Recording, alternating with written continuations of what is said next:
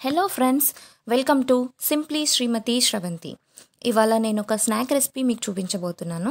అదేంటంటే ఆమ్లెట్ బోండాలు. అంతకన్నా ముందు మీరు నా ఛానల్ని ఫస్ట్ టైం విజిట్ చేస్తే please subscribe my channel and click on the bell icon ఇప్పుడు ఇంగ్రీడియంట్స్ ఏంటో చూసేద్దాం. శనగపిండి ఉప్పు eggs chopped onions chopped chillies కారం ఉప్పు ధనియాల పొడి అల్లం పేస్ట్. ఇప్పుడు ఒక బౌల్లోకి ముందుగా చాప్డ్ ఆనియన్స్ తీసుకొని అందులో చిల్లీస్ వేసుకొని తర్వాత అల్లం పేస్ట్ ఇంకా ధనియాల పొడి కారం సాల్ట్ ఇవన్నీ వేసుకొని బాగా కలుపుకోవాలి. ఇప్పుడు అల్లం పేస్ట్ వేసుకుందాం. ధనియా పొడి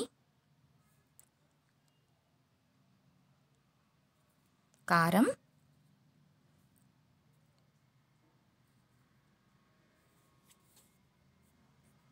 అండ్ సాల్ట్ వేసుకొని బాగా కలుపుకుందాం. ఇదంతా బాగా కలిసేలాగా మొత్తం కలుపుకోవాలి.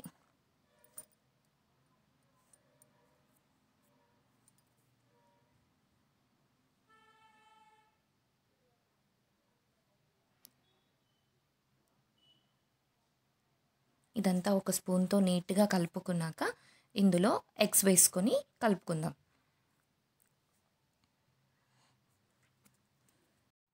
ఇలా ఎగ్ మిశ్రమాన్ని ఈ ఆనియన్స్లో వేసి బాగా కలుపుకోవాలి. ఇది మొత్తం కలిసేలాగా ఫైన్గా కలుపుకొని పక్కన పెట్టుకుందాం.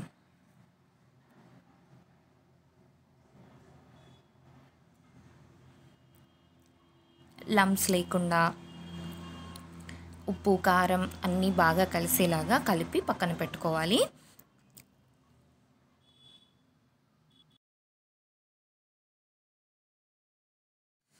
ఇప్పుడు స్టవ్ ఆన్ చేసి గుంట పొంగనాల ప్యాన్ పెట్టుకుందాం. ఇది కొంచెం హీట్ అయ్యాక ఆయిల్ వేసుకుందాం.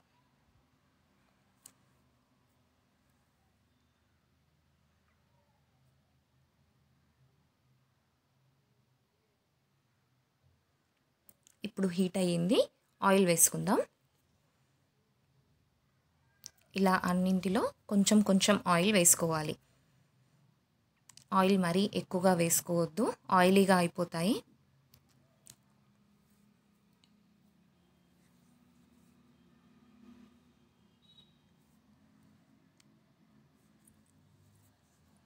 ఇలా అన్నింట్లో ఆయిల్ వేసుకొని ఆయిల్ హీట్ అయ్యాక ఇందాక మనం కలిపి పక్కన పెట్టుకున్న మిశ్రమాన్ని ఇందులో వేసుకోవాలి. ఇలా అన్నింటిలో ఈక్వల్గా వేసుకోవాలి. ఇలా వేసుకున్నాక మనం మంటని కొంచెం లో ఫ్లేమ్లో పెట్టుకోవాలి. చూడ్డానికి కొంచెం కలర్ఫుల్గా బాగున్నాయి కదండి. అయ్యాక ఇంకా టేస్టీగా ఉంటాయి. ఇలా అన్నిట్లో వేసిన తర్వాత వీటన్నిటిని మీడియం ఫ్లేమ్లో వేయించుకోవాలి. దీని మీద ఒక లిడ్ పెట్టుకొని కవర్ చేసుకుందాం. ఇది అయ్యేలోపుడు ఇప్పుడు ఇంకొక బౌల్లో శనగపిండి.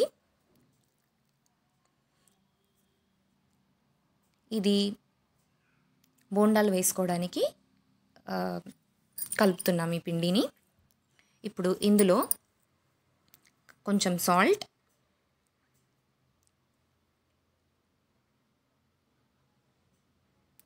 కొంచెం అల్లం పేస్ట్ టేస్ట్కి సరిపడా సాల్ట్ అల్లం పేస్ట్ వేసుకోవాలి. చిటికెడు వంట సోడా.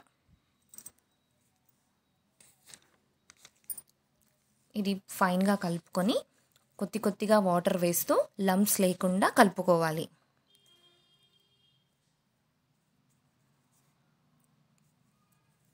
ఇలా కొద్ది కొద్దిగా వాటర్ వేస్తూ ఎయిర్ లమ్స్ లేకుండా ఫైన్గా ఈ మిశ్రమాన్ని కలుపుకోవాలి.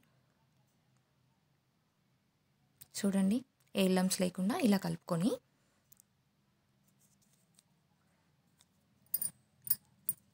చూడండి ఈ కన్సిస్టెన్స్లో కలుపుకొని పక్కన పెట్టుకుందాం. ఇప్పుడు వీటిని ఇంకొక సైడ్ టర్న్ చేసుకొని కాల్చుకోవాలి. ఇలా ఈ వీడియోలో చూపిస్తున్నట్టు second turn second side turn చేసుకోవాలి. ఇలా ఒక స్పూన్తో అన్నీ సెకండ్ సైడ్కి టర్న్ చేసి పెట్టుకొని టూ సైడ్స్ కాల్చుకోవాలి వీటిని.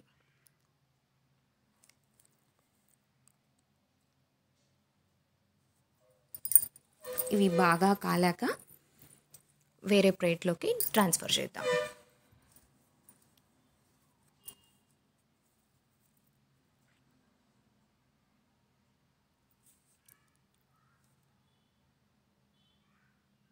ఇవి రెడీ అయిపోయాయండి.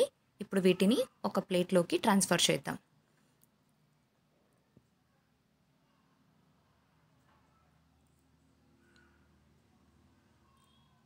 చూడండి. ఇలా బోత్ సైడ్స్ మంచిగా కాలాలి. ఇలా టూ సైడ్స్ బ్రౌన్ కలర్లో వస్తేనే ఇవి బాగా అయినట్టు. ఇలా ప్లేట్లోకి షిఫ్ట్ చేసుకొని వీటిని ఇలాగే ఊరికే కూడా తినేసేయచ్చు. బాగుంటాయి చాలా. ఇప్పుడు వేరొక స్టవ్ మీద బాండీ పెట్టుకొని డీప్ ఫ్రైకి సరిపడా ఆయిల్ వేసుకోవాలి. ఆయిల్ హీట్ అయిన తర్వాత ఇందాక మనం చేసి ఆమ్లెట్ పొంగనాలని ఈ శనగపిండి మిశ్రమంలో అద్ది ఆయిల్లో వేసి డీప్ ఫ్రై చేసుకోవాలి.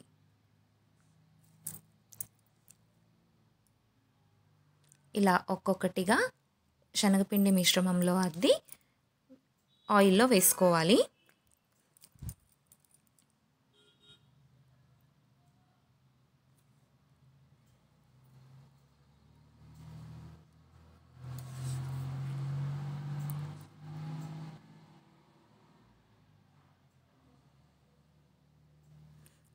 ఇవి మీడియం ఫ్లేమ్లోనే చేసుకోవాలండి.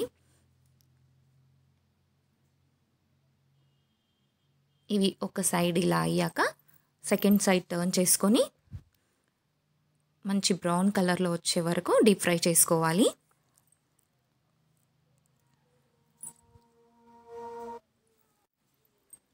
చూడండి. ఫ్రై అవుతూ ఉన్నాయి. ఇలా బ్రౌన్ కలర్ వచ్చే వరకు బాగా డీప్ ఫ్రై చేసుకుంటే క్రిస్పీ క్రిస్పీగా బాగుంటాయి. ఇప్పుడు రెడీ అయిపోయాయండి. ఇవి ఒక ప్లేట్లోకి ట్రాన్స్ఫర్ చేసుకుందాం. చూడండి. ఇలా వీటిని టొమాటో సాస్తో సర్వ్ చేసుకుంటే చాలా టేస్టీగా ఉంటాయి. పిల్లలు చాలా ఇష్టంగా తింటారు. ఒకసారి ఈ రెసిపీని మీరు కూడా ట్రై చేసి ఎలా ఉందో నాకు కామెంట్స్లో చెప్పండి. లైక్ చేసి షేర్ చేయండి. Thank you for watching.